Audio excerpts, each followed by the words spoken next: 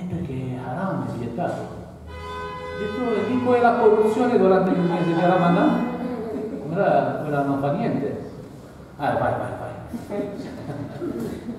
E quindi è così, cioè nel senso che sono delle cose molto strumentali che non hanno niente a che fare con la religione, sono delle cose che si usano così. Però nei fatti, tolto il codice della famiglia, le leggi algerine dovrebbero essere laiche, dovrebbero. Poi l'applicazione, le contraddizioni ci sono da ovunque, negli Stati Uniti c'è, c'è negli Stati Uniti che, che è lì un paese laico, però vai in tribunale giuri sulla Bibbia o giuri su qualche libro religioso oppure c'è sul dollaro c'è scritto eh, in God we trust oppure ci sono tanti riferimenti alla Bibbia nelle leggi americane. In Italia c'è, l'accordo tra lo Stato e il Vaticano insomma eh, le contraddizioni ci sono dappertutto non so se esiste uno Stato completamente laico, laico però finché se, se, se viene rispettata la libertà di chi ha un'altra religione o non ha religione proprio, eh, diciamo che questo è il criterio che basterebbe. La legge algerina dovrebbe tendere verso questo. Le persone, i giudici, i poliziotti no, Sono, diciamo, fanno sì che, eh, e ovviamente la società stessa, la società stessa, perché il Ramadan se non ti beccano i poliziotti, anche se ti becca la popolazione, se le prendi di brutto, eh? quindi non è che... Bene, abbiamo, c'è un'ultima. Io volevo dire una cosa velocissima, che non è in realtà una domanda, ma è così un'osservazione, che io ho seguito gli eventi algerini, ho visto sulle persone, sugli algerini l'effetto che che ha fatto e che fa questa mobilitazione e io penso che noi italiani abbiamo moltissimo da imparare da quello che sta succedendo in Algeria. Per tre motivi. Tre cose che io ho visto che mi hanno colpito moltissimo. La prima è l'idea di essere in un solco di storia di cui andare fieri. No? Quindi l'Iraq di oggi è un erede del movimento del, di liberazione, è un erede del movimento dell'88 e, e, via dicendo, ed è una cosa che rende la, la popolazione veramente fiera. Eh, la seconda cosa è questa grandissima maturità eh, di, cui, cui, lei ha parlato, cioè l'idea di non provocare la polizia, cioè l'idea di, di proteggersi, di, di, proteggere tutti i partecipanti alla, alla mobilitazione e la terza cosa è la gentilezza e la gioia, che sono meravigliose, che si percepiscono nelle, nelle persone che, che partecipano. Uh, non lo so, ad esempio ad Algeri durante le manifestazioni ci sono le persone che portano l'acqua e la regalano a tutti, ci sono le persone che portano da mangiare, la regalano a tutti, c'è una forma di solidarietà ed è, ed è veramente anche una festa. E secondo me questa è una cosa di cui noi italiani dobbiamo imparare tantissimo. Ma la, devo dire che i popoli che lottano sono sempre molto belli, anche fisicamente diventano belli. non lo so perché nelle foto delle, dei rivoluzionari c'è una certa... Eh, questo mi riporta alla domanda che mi hai fatto all'inizio, se è difficile parlare del proprio paese. In realtà io a un certo momento parlavo sempre della storia, delle cose vecchie, perché mi stavo allontanando completamente dall'Algeria. Io, io ci andavo l'estate perché c'è ancora mia madre, quindi la devo andare a trovare, però stavo male in questo paese, stavo veramente male e lo guardavo da lontano che andava verso, verso la rovina totale senza reagire. Questo mi faceva, metteva veramente male. Quindi mi interessavo sempre meno all'attualità algerina, fino a questo Herat. Questo Herat ci ha riportato ci ha riportato ad amare il nostro paese, ci ha riportato ad interessarci al nostro paese. Tutta la diaspora è mobilitata dappertutto, gente che magari non ci andava da, da anni e anni, gente, gente, che si sposta da Parigi per manifestare il venerdì, io ne conosco almeno, cioè non tutti i venerdì, ma almeno tanto gente quando ci sono eh, mobilitazioni particolari, tipo per il primo novembre c'è stata una grande mobilitazione per il 5 luglio, sempre le date storiche, si ritorna sempre a questa ossessione della storia, c'è gente che è andata dalla Francia, da Parigi per essere presenti. Questo ci ha riportato veramente a rivedere il nostro paese eh, in un altro modo, con questo, questo, questa bellezza che, che, che sta proponendo questo Iraq. La bellezza, il sorriso, noi eravamo un popolo che non sorrideva più, e ha perso il sorriso da molti anni, nella guerra degli anni 90 noi avevamo perso il sorriso. Mi ricordo che avevo incontrato una turista giapponese nel sud dell'Algeria, mi ha detto questo ci sono... Ah, perché arrivata al sud comunque la gente del sud è diversa, è un po' più aperta, più tranquilla perché la vita è sempre stata più tranquilla lì, ma anche perché loro non hanno vissuto lì massacri, eccetera, quindi sono più rilassati.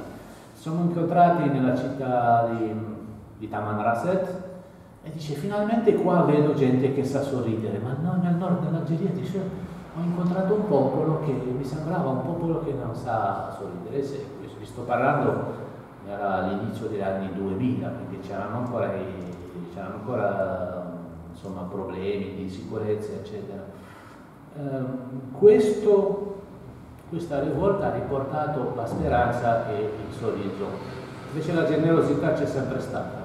Questa è l'unico eh, cosa che io quando, cioè una volta ad Algeri mi è successa questo, era un momento in cui detestavo questo popolo perché si stava, era un momento in cui Bouteflika era molto popolare perché distribuiva i soldi, il petrolio era alle stelle, gli distribuiva case, soldi, i giovani facevano dei progetti fasulli, io voglio comprare un camion per fare che cosa, non importa, tieni, davano dei soldi, ma dei soldi, grandi soldi insomma, e c'era alle stelle era la popolazione, io qua perché io dico le stesse cose da sempre, quante volte mi hanno insultato la comunità algerina qua in Italia,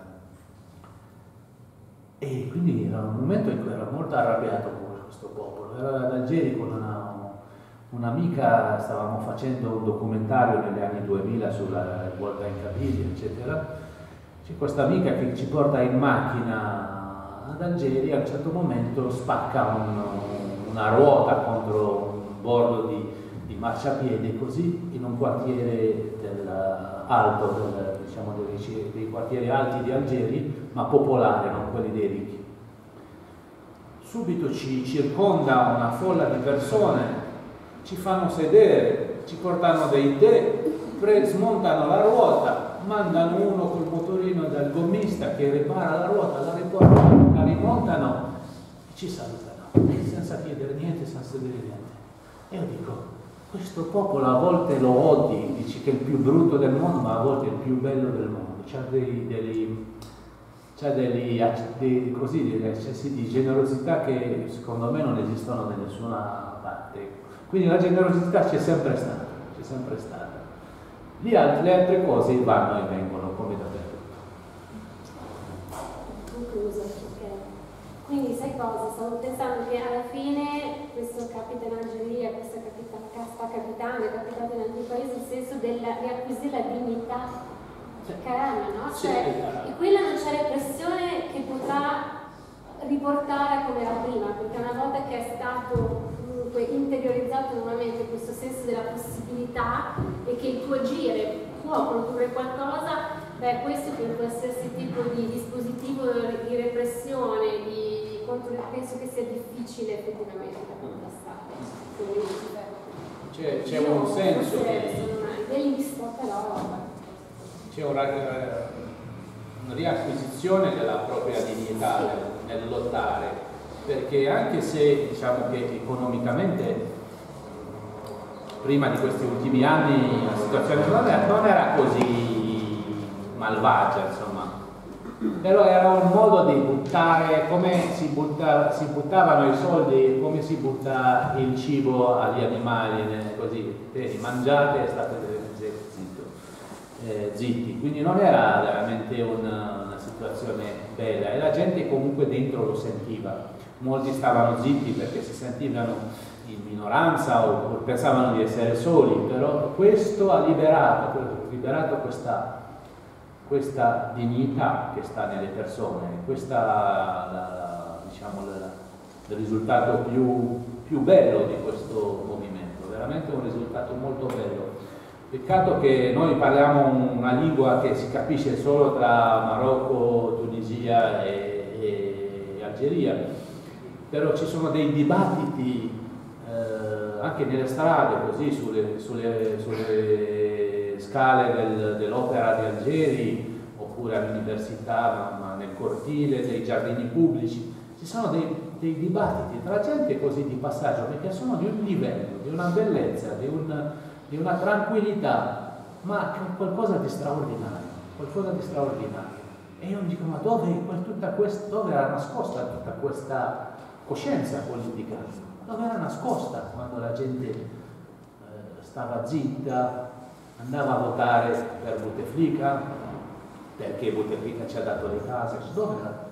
Pensavamo che fosse quella l'Algeria, invece no, invece quella è la parte visibile, perché chi non ha, chi sta con il regime si espone.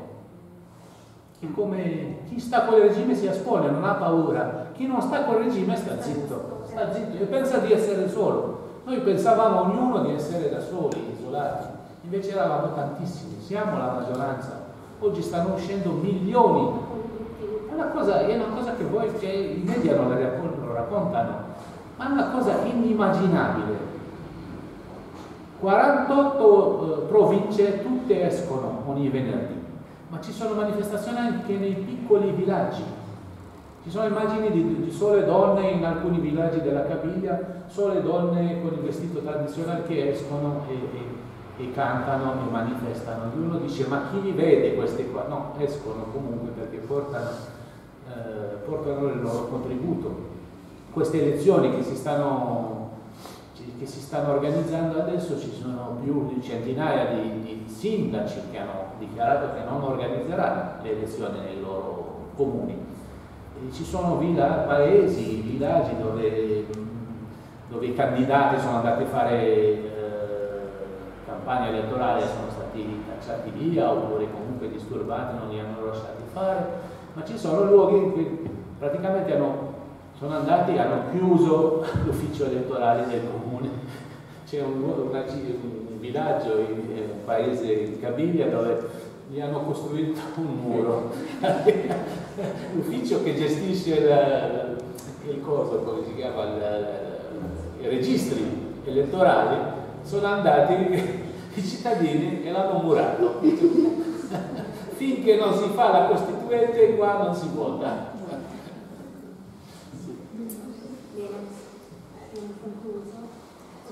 grazie mille per